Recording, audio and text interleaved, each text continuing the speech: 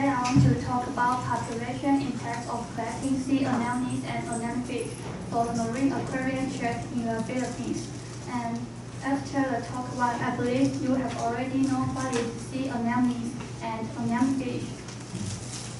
And first, I will introduce the purpose. Uh, tropical marine ornamentals comprise an increasingly important fishery worldwide and analysis of catch records obtained from collectors over a four-month period in the Cebu, Philippines show that anemone and anemonefish comprise close to 60% of the total catch. And the purpose of this study is want to know whether environment is affecting the number of creatures or not. And later I will introduce them. Now global trade in marine ornamentals become more important. And what is marine ornamentals? Uh, like this and they are not for eating. They they are they are like our pets.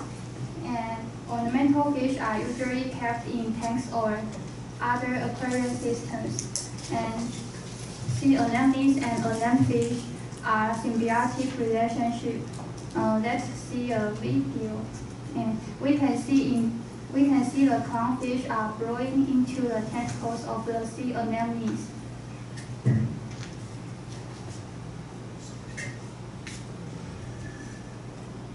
And the fish with white spots on its body is called D. trimaculatus. It also symbiotic with sea anemones. And the sea anemone offers the clownfish protection and leftover food and the clownfish protect the sea anemone by chasing away polyp-eating fish, such as the butterfly fish.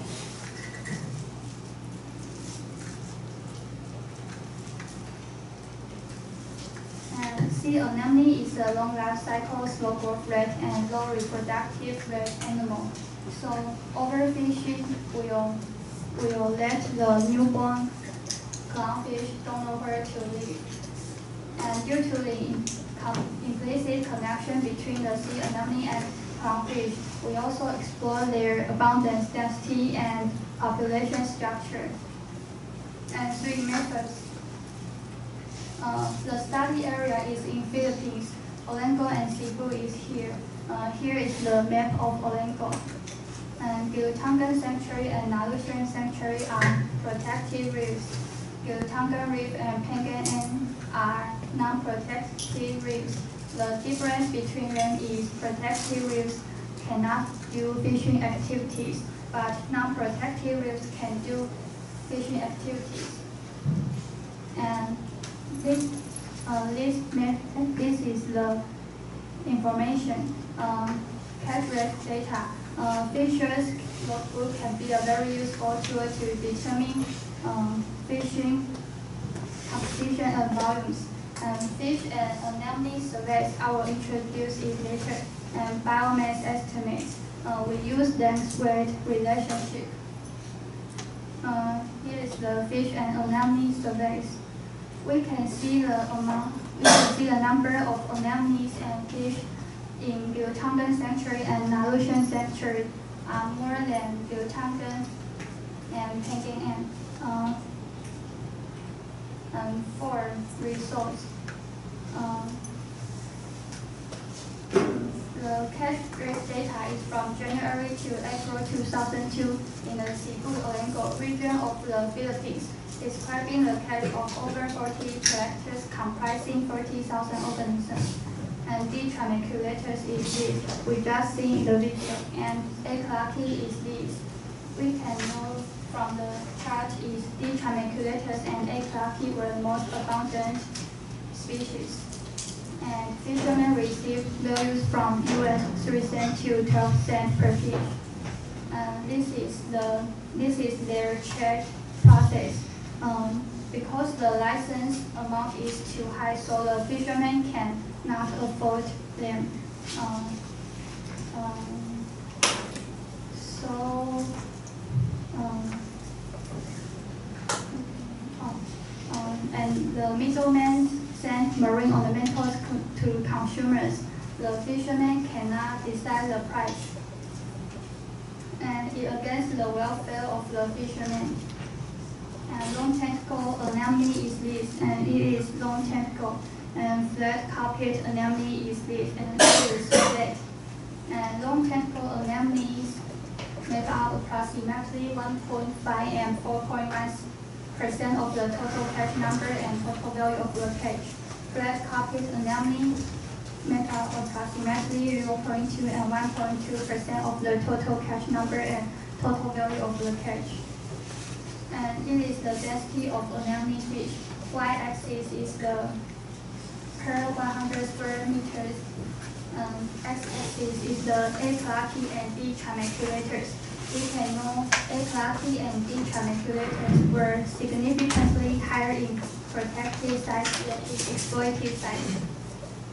And it is density of anemones. Y-axis is the per 100 square meters of anemones. X-axis is the H. crispi and other anemones. Uh, Crispi and other anemones also approximately also significantly higher in protected sites than in exploited sites. And H. crispi is this. It has rounded tip and the end is all often colored with purple or blue spot. And here is purple spot. Uh, size frequency distribution of A. Uh, y-axis is the proportional frequency and x-axis is the standard length. Uh, we can know A. clarkii can grow longer in protected sites. Uh, they can even larger than 7.5 centimeters. Uh, size frequency distribution of all anemones combined. Y-axis is the cumulative frequency. frequency. And uh, we can know the anemones uh, are larger in protected sites than in exploited sites. And number and biomass of anemone fish per square centimeters of H. crispi. Y-axis is the per square centimeters of anemone, and x-axis is the number and biomass. there were similar numbers in protected and exploited sites. Uh, however, biomass in biomass of fish per unit area of anemone was lower in exploited areas. Uh, propor proportion of 3D trimaculatus less than 2 centimeters not associated with anemones in protected and exploited sites. Y-axis is the proportion free D. trimaculatus less than 2 centimeters, and x-axis is the protected sites and exploited sites. Um, five, discussion. Uh, first, to the finding of Butler, uh, he said there were no significant differences between the densities of either anemone or anemone fish, unprotected and unprotected reefs on the Great Barrier Reef. But uh, in this paper, we determined that aquarium fishing activities significantly impacted the populations of both anemone and anemone fish in the study region. And it is because fish catch data it provides evidence that ornamental fishing was responsible for the reduced and anemone in exploited sites. Uh, six, conclusion.